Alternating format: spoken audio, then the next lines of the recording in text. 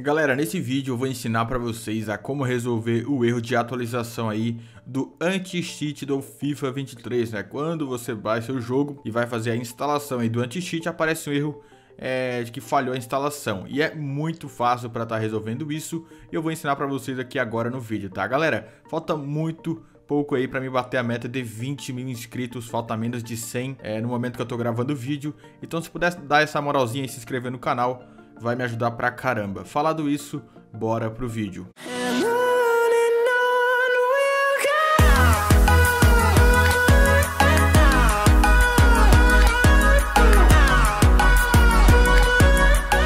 Quando eu fui fazer o processo de instalação do anti-cheat, deu esse erro. E o que você tem que fazer é o seguinte: se tiver um antivírus instalado aí no seu computador, você tem que desativar ele. Eu não tenho, mas por exemplo aí você tem é, o Avast você vai estar tá desativando o Avast, entendeu? Ou qualquer outro antivírus também. segundo passo é vir aqui no menu iniciar e digitar Firewall. Você apenas colocar Firewall, já vai, já vai aparecer aqui, ó, Windows Defender Firewall. Ativar ou desativar o Windows Defender Firewall, obviamente que por padrão do Windows, não é recomendado que você desative, mas o que você vai fazer é o seguinte, você vai apenas desativar quando for fazer o processo de instalação.